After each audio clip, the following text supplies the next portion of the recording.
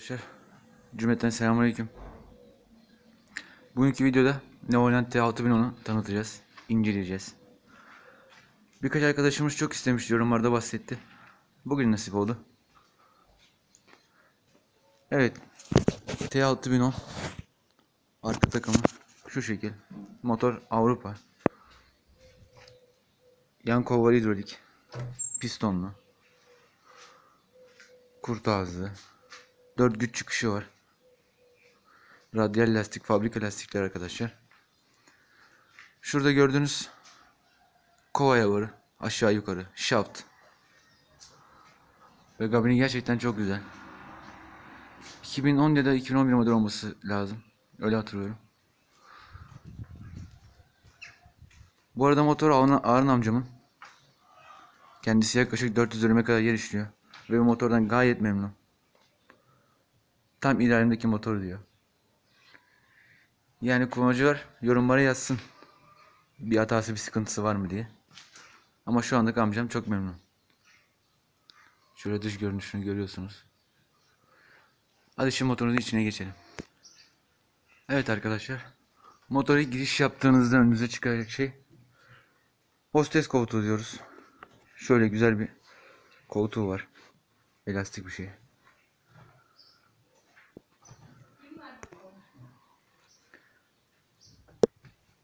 Freni burada. Koltuk. Koltuk da orijinal. Ne varyant. Şöyle bir içine geçiyoruz.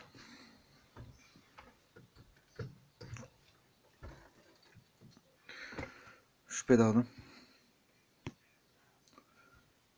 Direksiyonumuz geri geri yapıyor. Tekrardan basalım.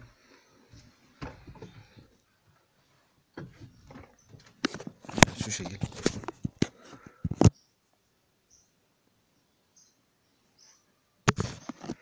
Başka tanıtmamız gereken şeyler. Şurada şaft var. Şey şaft diyorum pardon. Çok özür diliyorum. Shuttle. Böyle ileri geri. Şurada göstergeler var.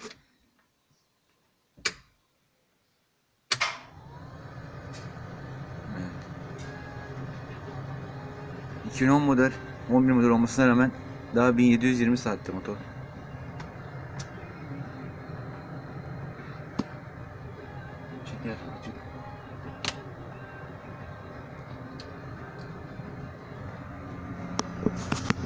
Kolonlar, ışıklandırma, gabin içi, sunroof, teyp. Burada ışık var. Mevcut.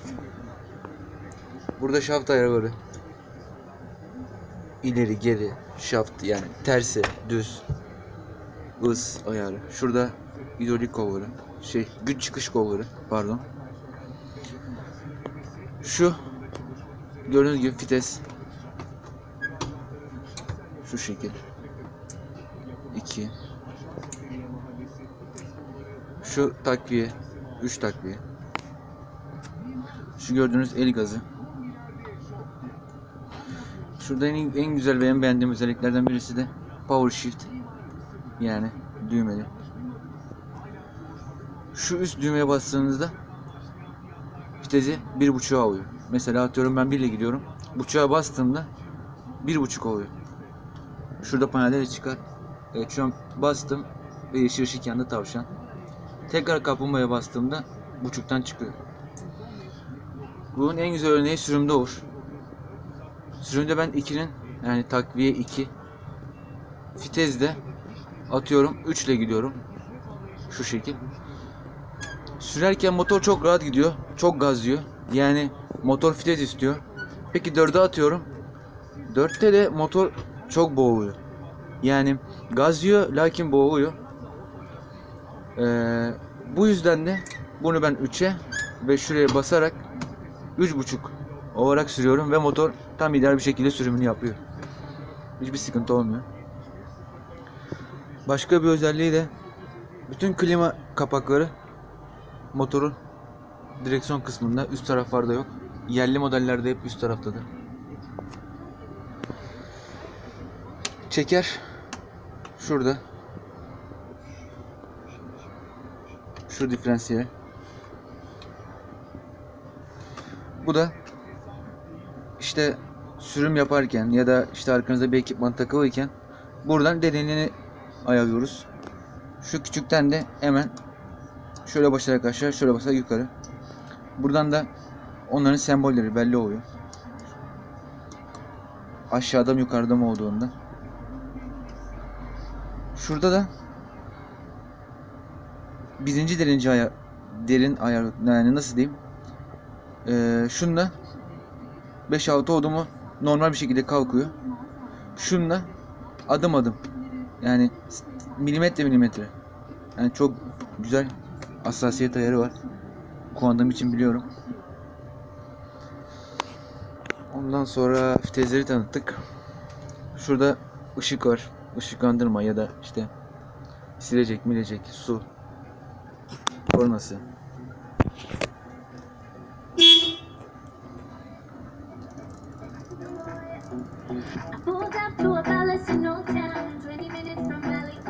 Sürüm yapın, istediğinizi yapın bu motorda arkadaşlar. Gabini hiçbir şekilde ses almıyor.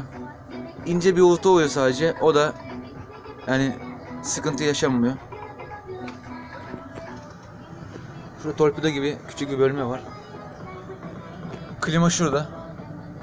Şu şekilde oldu mu? Çoğu arkadaş bilir. Ben de söyleyeyim. Şu şekilde arkadaşlar sadece şunu açarsanız 4 derece bir de bu arada. 3'ü değil. Yani şu şekilse sadece fanı çalıştırır. Yani dışarıdaki havayı size normal bir şekilde verir. Lakin şuna bastığınızda dışarıdaki havayı soğutarak verir. Buna çoğu çiftçi arkadaşımız, kardeşimiz bilir. Şu an kapattım klimayı. Işık da şu şekil. Bu sunroof perdesi. Şu da işte gölgeli gibi. Başka tanıtacağımız şeyler. Şurada büyük bir tane eee havayı içeri verdiğimizde içeriden buradan süzüyor.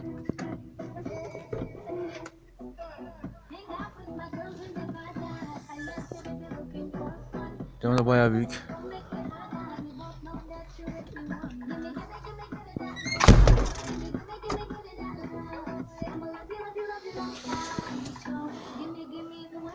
Bu arada koltuktan da biraz detay vereyim. Koltuk yani herhalde çoğu arabadan daha kaliteli bir koltuk. Yani nasıl desem şimdi. Koltuk zaten baştan başa çok kaliteli bir şey. Şuradan aşağı yukarı ayarını yapabilirim. Mesela bu şu an çok yukarıda. Şöyle yaparak şunu çevirerek aşağı doğru indirebiliyorum. Ondan sonra şu şunla da şunu ileri geri yatırabiliyorum. Buralarda şurada arkadaşlar koltuğu şu tarafa ya da şu tarafa doğru çevirebiliyorum. Yani mesela sürüm yapıyorum ben oturdum arkaya bakacağım. Bu şekilde şu şekilde arkaya bakarsanız arkadaşlar bir süreden sonra boynunuz ağrıyacak. Ama bu buna eğim vererek o tara vitesleri olduğu tarafa doğru biraz çevirerek daha rahat görmenizi sağlayacak. Yani bu motorla yaklaşık bin dönüm anı sürebilirsiniz ve yorulmak denen bir şey anlamazsınız. Şu an motorumuz tanıtımı bu kadar. Şöyle kontağı kapatayım.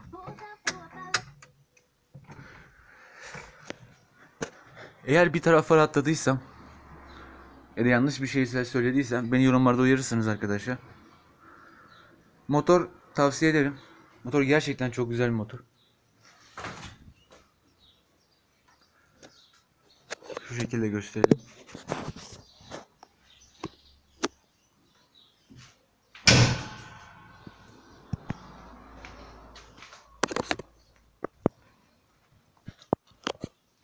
Şimdi tanıtım bu kadar arkadaşlar. Başka videolar istiyorsanız değişik videolar yorumlara yazabilirsiniz. Elimden geldiğince tanıtmaya, tarım videoları atmaya devam edeceğim. Köy hayatımı, yaşantılarımı devam atmaya devam edeceğim. Şimdilik bu kadar. Herkese kolay gelsin. Görüşürüz.